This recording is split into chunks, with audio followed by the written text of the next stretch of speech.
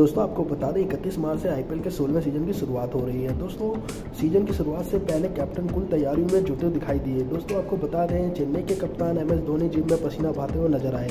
और दोस्तों, साथ ही साथ जिम के अंदर धोनी की एक झलक पाने के लिए फैंस की बहुत ज़्यादा भीड़ उमड़ आई। दोस्तों, आप हमारी वीडियो में कुछ खास फुटेज देख सकते हैं, किस तरीके से धोनी जिम में एक्सरसाइज कर रहे हैं और बाहर भीड़ लगी हुई है। दोस्तों, इकतालीस साल के एम एस धोनी की फिटनेस भी बहुत शानदार है। आप हमारी वीडियो में कुछ खास फुटेज देख सकते हैं दोस्तों, उनकी मसल देख कर हर कोई हैरान है और इकतालीस साल में उतने फिट है कि उनके फैंस बहुत ज़्यादा खुश हैं। दोस्तों, हालाँकि एम एस धोनी का ये आखिरी आईपीएल सीज़न हो सकता है, पर अभी ये कुछ कन्फर्म नहीं किया जा सकता। उनकी फिटनेस देखते हुए लगता नहीं कि वो इस बार आखिरी सीज़न होगा उनका। पर दोस्तों, इसको लेकर आप क्या कहेंगे? आपकी क्या राय हमें ज़रूर बताइएगा। हम आपको मिलेंगे अपनी नेक्स्ट वीडियो में किसी और नए अपडेट के साथ। धन्यवाद।